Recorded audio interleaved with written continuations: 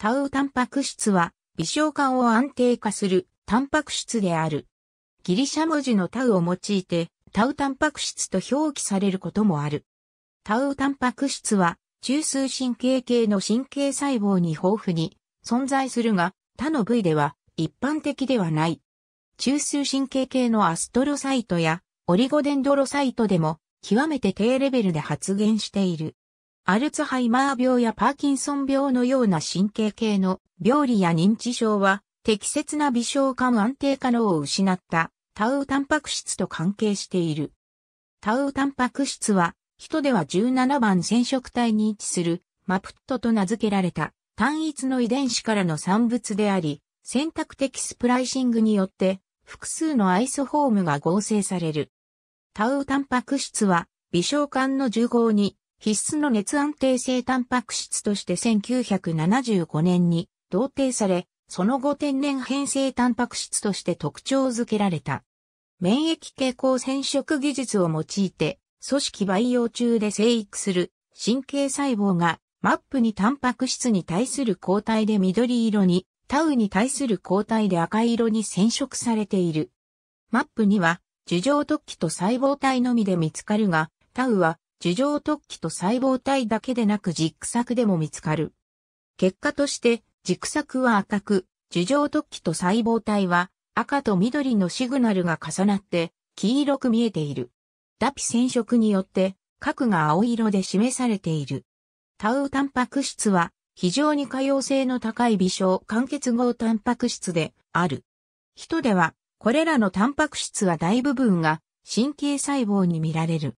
タウの主要な機能の一つは、軸索の微小管の安定性の調節である。タウのノックアウトマウスが脳の発達に異常を示さないことから、他の神経系のマップも同様の機能を果たしていることが示唆され、おそらくタウの欠損は他のマップによって補われていると考えられる。タウは主に軸索の遠位単速で活性があり、微小管の安定性と必要時には柔軟性をもたらす。これは、軸索の近位単速で微小管を固定するマップ6や、樹状突起で微小管を安定化するマップ2と対照的である。微小管安定化機能に加えて、タウはシグナル伝達タンパク質のリクルートや微小管を介した輸送の調節を行っている。タウはチューブリンと相互作用して微小管を安定化し、チューブリンの微小管への重合を促進する。タウにはアイソフォームの変化とリン酸化という二つの微小管の安定性を制御する二つの方法が存在する。人でタウタンパク質をコードするマプット遺伝子は17-9-21に位置し、16のエクソンを含む。人の脳での主要なタウタンパク質は11のエクソンによってコードされている。エクソン2、3、10は選択的スプライシングを受け、6種類のアイソフォームが形成される。人の脳では352-441アミノ酸の6種類のアイソフォームがファミリーを構成している。タウのアイソフォームは N 末端部分に29アミノ酸の挿入の数が0、1、2個、そして C 末端部分の反復配列が3つもしくは4つという違いがある。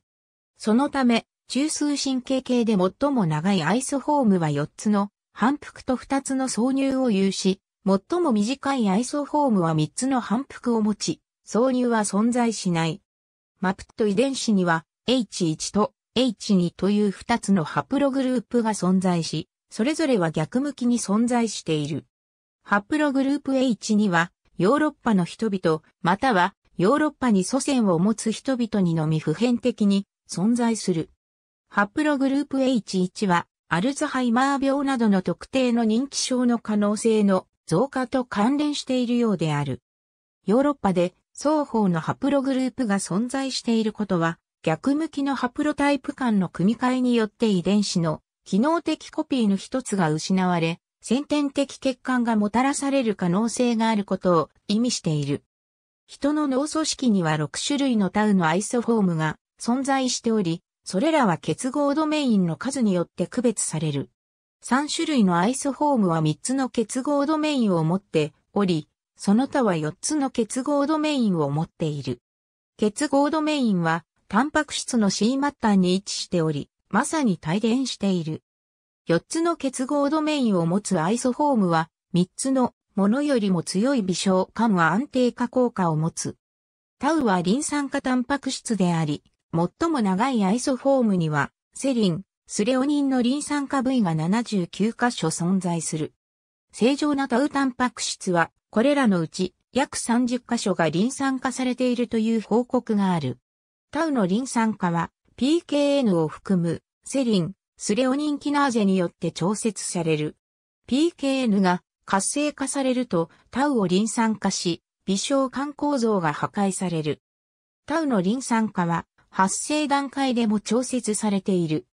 例えば、肺の中枢神経系のタウは、生体のタウよりも高度にリン酸化されている。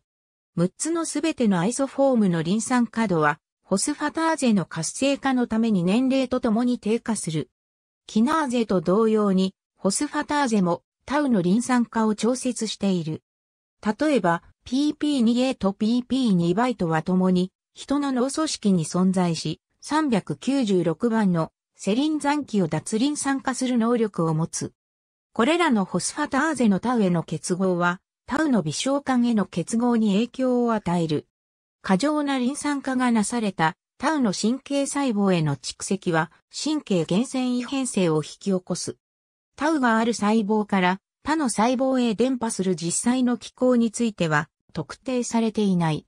また、タウの放出や毒性など他の機構も未解明である。タウが凝集するとチューブリンに置き換わってタウの繊維化が増大するようになる。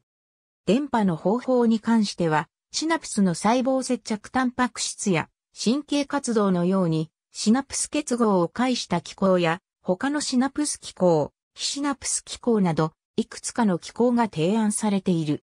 タウの凝集の機構は完全には解明されていないが、タウのリン酸化や亜鉛イオンなど、この過程の進行を促進するいくつかの因子が知られている。タウの取り込みと放出の過程はシーディングとして知られている。タウタンパク質の取り込みは細胞表面にヘパラン硫酸プロテオグリカンの存在を必要とし、マクロピノサイトーシスによって起こる。一方で、タウの放出は神経活動に依存している。アサイラによると、タウタンパク質の拡散は疾患の初期段階で急内野から海馬領域へ起こる。また、彼らはミクログリアが輸送過程に関与していることを示唆したが、その実際の役割は不明である。タウは細胞内に蓄積することで毒性を示す。この毒性の機構には、パール -1 キナーゼなどの多くの酵素が関与している。この酵素は262番と356番のセリン残機のリン酸化を促進し、他のキナーゼを活性化して疾患と関連したリン酸化エピトープを作り出す。毒性の程度は微小管への結合度などの様々な因子の影響を受ける。また、毒性は神経原線異変化によっても引き起こされ、細胞死や認知機能の低下がもたられる。タウタンパク質の過剰なリン酸化は、平ら線状細繊維と直線状細繊維の凝集体の自己集合を引き起こす。これらは、アルツハイマー病、前頭側頭型認知症や他のタウオパチーノ病理に関係している。アルツハイマー病の脳の対らせん状細線維では、タウの6つのアイソフォームのすべてがしばしば過剰なリン酸化がなされた状態で存在している。他の神経変性疾患では、蓄積した凝集体には特定のアイソフォームが多く含まれることが報告されている。誤ったフォールディングが起こることで、可溶性の高いタンパク質も極めて不溶性の凝集体を形成し、多くの神経変性疾患に寄与する。神経原線変化は、タウタンパク質が互いに結合した凝集体で脳の細胞へ分配される必須栄養素を遮断することで細胞死を引き起こす。アルツハイマー病において、タウはエクソソームを介した機構で細胞外へ放出されていることが近年の研究では示唆されている。人の脳の様々な領域でのジェンダー特異的なタウの遺伝子発現とタウオパチーの症状やリスクのジェンダー間のサイトの関係が近年示唆されている。疾患の機能のいくつかの側面は、プリオンタンパク質との類似性が示唆される。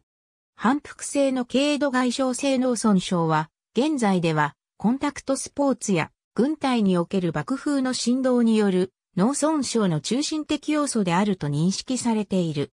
慢性外傷性脳症へとつながることもあり、この疾患は過剰にリン酸化されたタウによる神経原線異変化で特徴づけられる。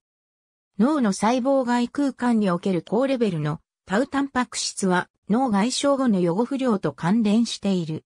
アルツハイマー病のタウ仮説では、タウの過剰なまたは異常なリン酸化が正常な成人のタウを対らせん状細線維へ変化させたり神経原線維変化を引き起こしたりするとされる。疾患の段階によってタウのリン酸化状態は異なっており、NFT は pre-neurofibrillary tangle、intraneuronal neurofibrillary tangle、extraneuronal neurofibrillary tangle という段階で進行するが、プレ NFT の段階では119番、202番、409番のセリンがリン酸化されており、イントラ NFT では396番のセリンと231番のスレオニンがリン酸化される。タウの変異によってアイソフォームの発現レベルの変化や微小管の機能異常など多くの結果が引き起こされる。タウの機能やアイソフォームの発現を変化させる変異によってタウの過剰なリン酸化が引き起こされる。変異のないタウが凝集する過程は解明されていないが、リン酸化の増加やプロテアーゼの作用、グリコサミノグリカンなどのポリアニオンへの暴露の結果であると考えられている。過剰なリン酸化がなされたタウは、微小管を解体し、タウと指基鎮を平ら線上細繊維へ隔離する。この不溶性の構造体は、細胞質の機能に損傷を与え、軸索輸送に干渉することで、細胞死を引き起こす。異常な形態のタウタンパク質を攻撃させるワクチンが開発されている。これによってアルツハイマー病の症状が緩和され、最終的には治癒が可能となるかもしれない。タウタンパク質は、還元性のチロシンキナーゼなどと相互作用することが示されている。ありがとうございます。